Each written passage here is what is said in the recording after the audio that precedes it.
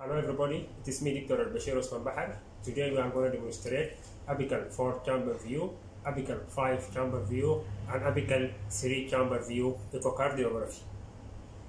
Our patient either lie left lateral decubital position or uh, lie supine with hand with his left hand behind his uh, head. So we are going to start uh, with our marker toward left shoulder. Our marker here is toward left uh, is toward left uh, side of the of the patient. So we are going to start from the second intercostal space down till the, till we so we, we visualize uh, five chamber five chamber chamber view.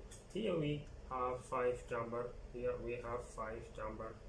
We have five chamber. We have five chamber view. Five chamber view. First of all, we have here left ventricle, left atrium, right atrium, right ventricle. Here we have valve, mitral valve, which is between left ventricle and left atrium. We have tricuspid valve, which is here lie between right ventricle and right atrium. This is five four chamber four chamber view.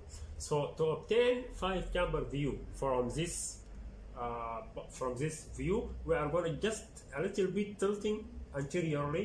So we have five chamber we have five chamber view, including here the opening of the aortic valve. Here is until the opening of the aortic valve here appeared more clearly, more. So let us back to the our five chamber view, which is our standard. From this view, if we are just going to find out that three chamber view, we are just going rotate the prop. The marker will be toward the left shoulder. So here we have three chamber view.